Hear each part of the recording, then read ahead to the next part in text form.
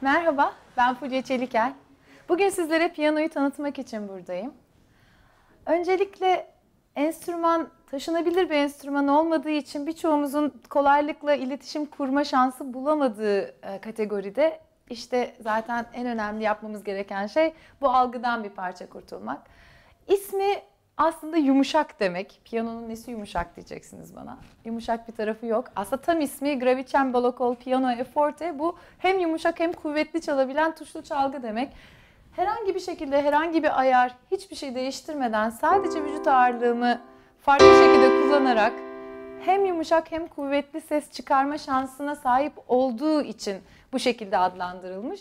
Ses sınırı açısından aslında en geniş adlandırabileceğimiz çalgı. Kocaman senfoni orkestrasında bile kontrabastan daha pes seslere ya da piccolo flütten daha tiz seslere sahip başka bir çalgı yok ama piyano var. Biz sesleri, ses sınırını oktav adettiğimiz bir kelimeyle ölçüyoruz. Oktav İtalyanca otto kelimesinden geliyor ve aslında 8 demek. Neden 8? Çünkü bir ilk bakışta dahi görebileceğiniz şekilde kendini tekrar eden bir desen var. Siyah tuşlardan ve beyaz tuşlardan oluşan. Ve bu desen hep 8 mesafesiyle kendini tekrar ediyor. Hemen göstereyim. Aynı ses gibi duyuluyor. İki farklı ses çaldığım zaman iki farklı sesi beyniniz size ayırt edecektir. Ama aynı ses ve aralarında 1, 2, 3, 4, 5, 6, 7, 8 basamak var. Buradan kaynaklanan bir oktav algısı bu. Ve 7,5 oktav sese sahip piyano.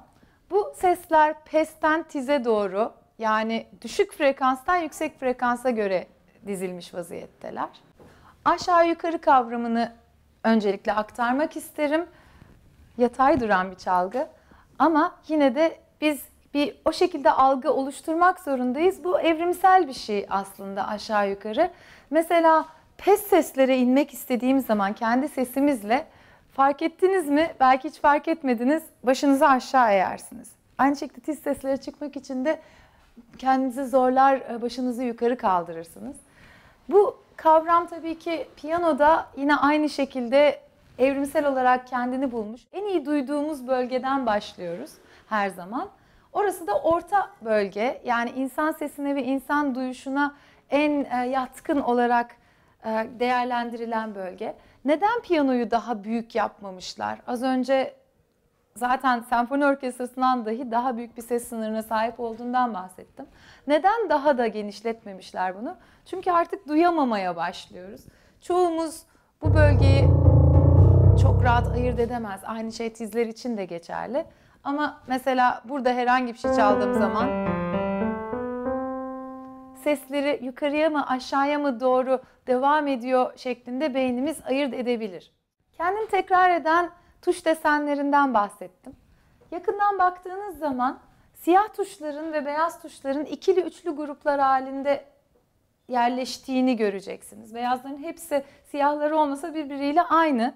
Ama siyahlar gördüğünüz gibi arada boşluklar içeriyor ve ikili üçlü gruplar halinde diziliyorlar. Bunun sebebi şu. Aslında siyahlarla beyazların arası hiyerarşik olarak teorik yönden bir fark doğrusunu isterseniz yok. Ee, akustik bir piyanoda açıp baktığınız zaman teller birbirinin aynısı görünecektir. Aynı şekilde çekiçler de. Dolayısıyla da bu farkı doğuran şey aslında sadece yerimizi kolay bulmamız açısından bir kolaylık.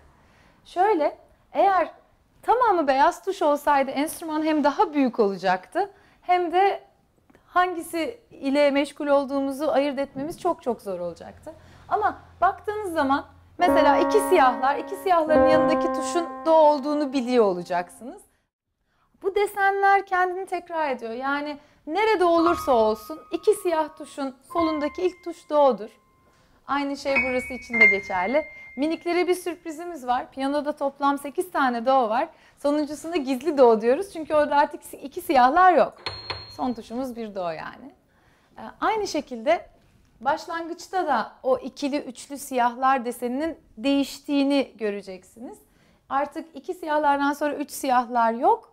Sadece ilk tuşumuz var. O da la. Notaların isimleri do, re, mi, fa, sol, la, si. Peki bunları hayatımızın bir devrinde öğrenmişiz, özümsemişiz. Ama acaba nereden gelirler? Müzik teorisi açısından bakarsanız isimleri A, B, C, D, E, F, G. Son 2500-3000 yıldır bu böyle. Peki biz neden Do, Re, Mi, Fa, Sol, La, Si isimlerini takmışız?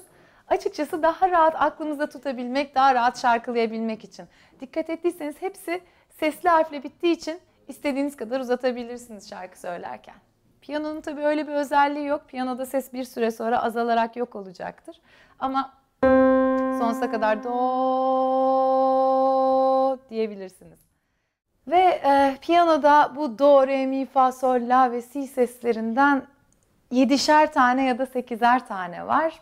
Bize istemediğimiz kadar e, farklı seçenekler sunabilen bir çalgı. Peki hangi sesin hangi tuş olduğunu nasıl öğreneceğiz?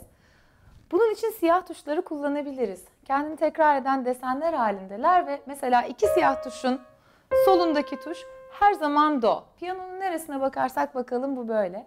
Ee, yapabileceğimiz en iyi egzersiz hepsini teker teker bulup yerlerini öğrenmek. Mesela e, bu do, re, mi, fa, sol, la, si sırası e, küçüklüğümüzden beri hayatımızın bir yerlerinde e, kulağımıza yerleşmiş vaziyette. Bunları tize doğru do'dan si'ye aynı şekilde do'dan geriye do, si, la, sol, fa, mi, re, do şeklinde saymayı çalışabiliriz. Ve aynı şekilde tuş, tuşların üzerinde böyle egzersiz yapabiliriz. Do'nun üst komşusu her zaman re, üst komşusu her zaman mi. Bu sayede beynimizdeki sırayla tuşlardaki sırayı eşleştirebiliriz. Aynı şekilde geriye dönüşü de e, tizden pese inişi de çalışmamız lazım. Do'dan önce mesela si geliyor. Ama buna eğer re demeye alışırsak tabii ki çok doğru olmayacak. Bu sayede zaten şeyleri de bulabiliriz. Kısa zamanda hepsinin yerlerini öğrendiğimiz zaman mesela üç siyahların solunda fa'nın olduğunu ya da iki siyahların ortasında re'nin olduğunu da e, zihnimize yerleştirebiliriz. Birinci dersimizin sonuna bu şekilde geldik. Eğer bir ev ödevi istiyorsanız söyleyebileceğim şey tuşların yerini bulun ve onları isimleriyle eşleştirin. Bir sonraki dersimizde ne şekilde oturmamız ve vücudumuzun ne şekilde kullanmamız gerektiğini anlatacağım. Teşekkürler.